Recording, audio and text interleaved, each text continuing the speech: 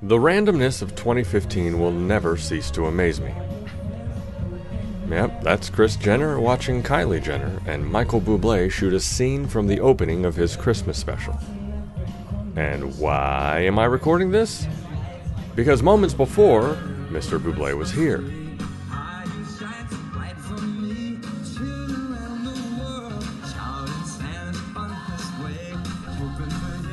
And of course, that's my car. And of course, I'm at Hill Valley because, of course, 2015 is ridiculous. I am a little ahead of myself. This is the third time I've been on the set with my car. And while it's not the outright giddiness of the first time, it's always special. Remarkably, I got to witness something quite rare. Look at this.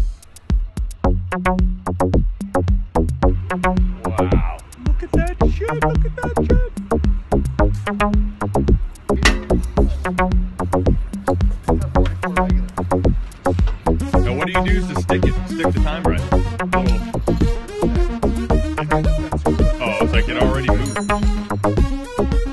Sadly, I had to tell them it was 10:04, and they called me a nerd, as if the time machine wasn't a hint.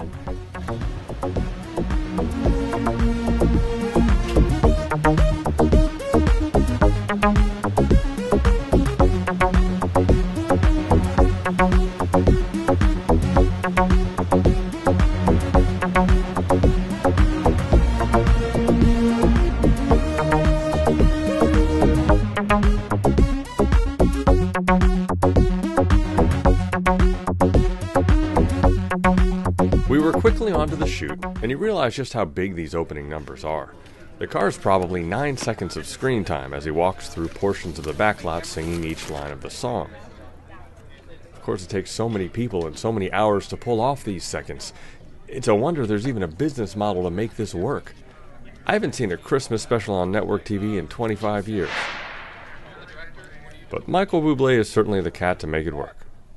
Way back and action! Ah,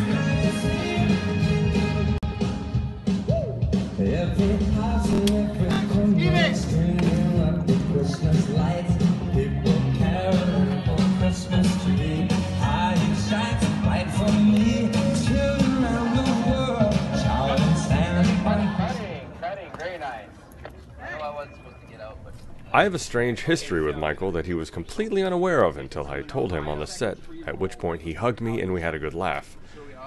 I'll save the story for a Hats and Mini Golf interview I now must make happen. But suffice to say, for a good part of my life, he has been my Newman, consistently annoying me and inadvertently beating me to punches. It's all based in lighthearted jealousy on my part, but it was nice to finally meet him and tell him. He's also impossible not to like. Christmas lights.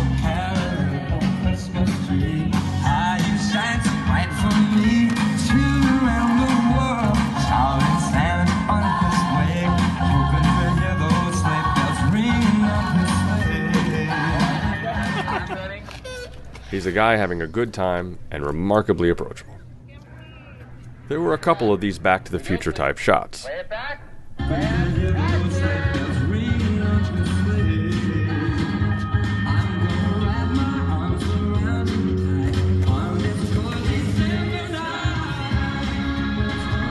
and after lunch, we find ourselves in this surreal Kardashian moment where Kylie Jenner is doing a modeling shoot. He walks up and shoots a selfie and walks on. You know, I know the world seems to hate this family, but I've never really understood the vitriol. Pretty rich people have gotten famous simply for being pretty and rich since the beginning of time. That will never change. That is pop culture in a nutshell. And if you don't like pop culture, there are alternatives. I neither like nor dislike the family. They just are. And 2015 just was. It's a year that will stand alone, start to finish, more vivid than any year of my life. Here's to the future.